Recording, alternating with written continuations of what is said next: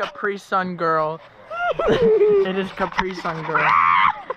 I'm gonna put it in my mouth. Capri Sun girl. Oh my gosh.